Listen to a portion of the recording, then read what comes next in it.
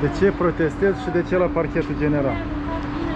La parchetul general prefer să protestez aici la ultima stație pentru faptul că mi s-au fabricat dosare de urmărire penală fără, fără număr, cercetat abuziv și sunt vânat de autoritățile statului mafiot corupt de dictatura asta comunistă, rusofistă, ceaușistă și am stat la pârnaie în uh, perioada 2003-2004 al lui Adrian Năstase, mătușa Tamara, de la Cornu, de la Patria Hoților și ministrul de justiție era doamna Mihaela uh, Rodica Stănoiu. Și m-a Atunci s-au arestat. schimbat vreo 10 miniștri, cred. Păi s-au schimbat, dar mi s-a fabricat dosare de urmărire penală în perioada guvernării lui Cioloș Adrian, când era prim-ministru, 2016-2017, Răcean Cioloș. Dacian Cioloș Mm. și domnului ministru de interne Blaga Vasile. Mm. Era la conducerea Ministerului de Interne. Și niciodată nu o să dau înapoi împotriva sistemului mafiot.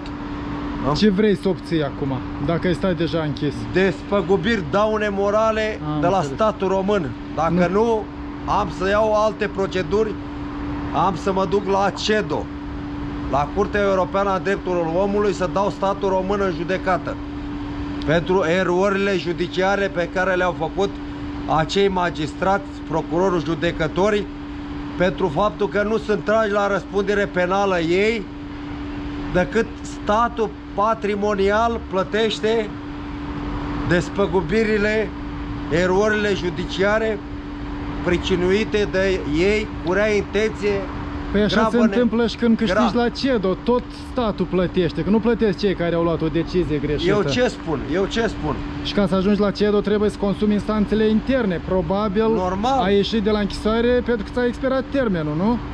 Sau a fost o Normal. decizie de achitare.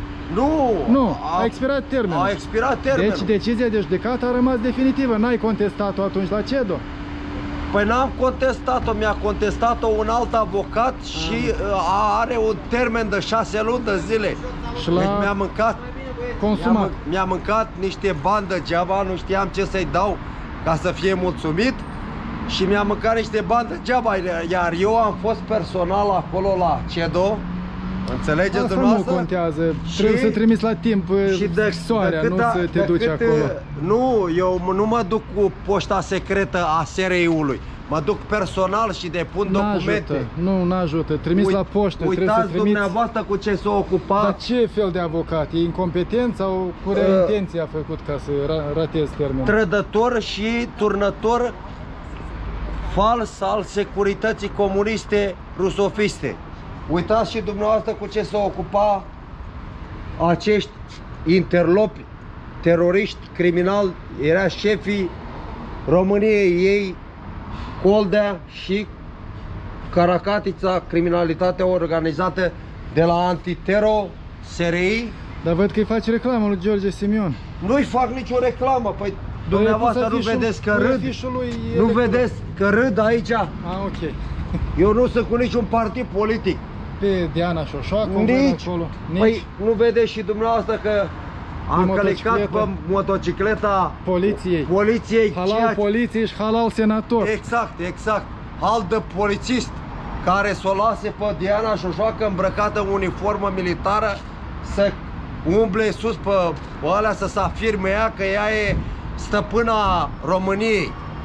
Nu, e, nu o să ia nici e, mandat de europarlamentar, Nu o nici să la mai primăria ia, nu o să mai capitalei, ia, o să nu o să rămână mai ia. senator până la toamnă. Nu mai, nu o să mai fie, nu o să mai fie. A ales-o interlopii, clanurile mafiote, Au ales oamenii care vor astfel de circ. au, au ales oamenii bătrâni, poate până semnături false, ceea ce... Nu, că la alegeri nu cu semnături, e cu să vot face, secret în domnule, să cabină. face și cu semnături false, să face multe măgării. Acum pentru fostul soț al ei, înțeleg că e un dosar penal că ar fi falsificat semnăturile. Uh, Stimate domn, trăim în România. E țara tuturor posibilităților în România. E o- două state. Stat corupt, mafiot și stat de drept suveran.